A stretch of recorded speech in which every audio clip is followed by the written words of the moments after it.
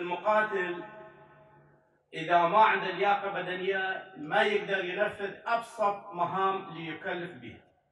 من أجل متابعة اللياقة البدنية لضباط ومراتب الجيش العراقي عقدت مديرية التدريب البدني وألعاب الجيش مؤتمرها السنوي لضباط الصنف والعاملين به. بحضور معاون رئيس أركان الجيش للتدريب وعدد من ضباط الصنف لمختلف الوحدات. من جانبه معاون رئيس أركان الجيش للتدريب أثنى على الجهود الكبيرة التي يبذلها هذا الصنف من أجل النهوض باللياقة البدنية لضباط ومنتسبي الجيش العراقي.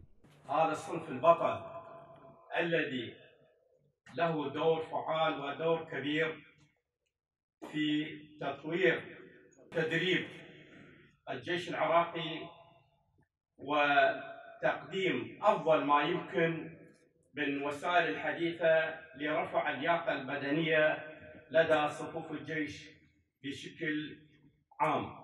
تخلل المؤتمر عرض الإنجازات والفعاليات التدريبية والرياضية التي تم إنجازها في العام الماضي ومناقشة الخطط المستقبلية للعام المقبل التي أعدت وفق مذكرة التدريب البدني التي من شأنها الحفاظ على اللياقة البدنية والقوام الرشيق للمنتسبين.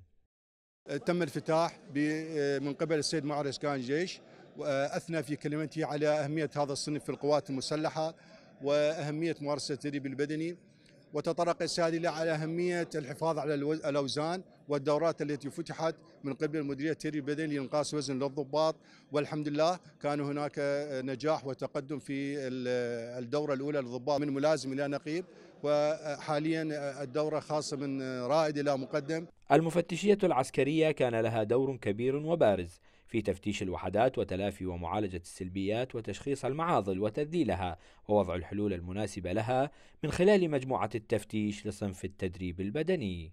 كان للمفتشية دور رئيسي وبارز في أثناء تفتيش الوحدات، دور في معالجة السلبيات وتشخيص المعاضل وتذليلها ووضع الحلول لها وكذلك متابعة توجيهات السيد رئيس أركان الجيش آه، التي تخص معالجة السلبيات وخاصة موضوع زيادة الوزن للمقاتلين. ويعتبر صنف التدريب البدني من الصنوف المهمة. لما فيه من رفع القابلية البدنية والقدرة القتالية للضباط والمراتب في الجيش العراقي.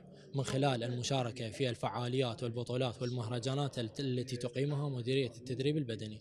لإعلام وزارة الدفاع الملازم مصطفى علي.